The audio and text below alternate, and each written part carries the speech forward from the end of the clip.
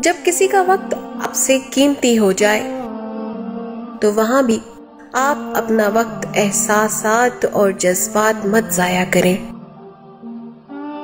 दोस्त हो या परिंदा, दोनों को आज़ाद छोड़ दे। लौट आया तो तुम्हारा, ना लौट के आया तो तुम्हारा कभी था ही नहीं। वक्त अच्छा हो या बुरा, गुजर ही जाता है।